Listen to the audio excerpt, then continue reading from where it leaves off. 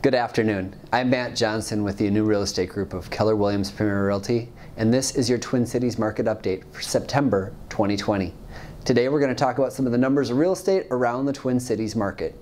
We'll start with the median sales price, which was up 10% year over year. The median home right now in the Twin Cities is going for $316,400.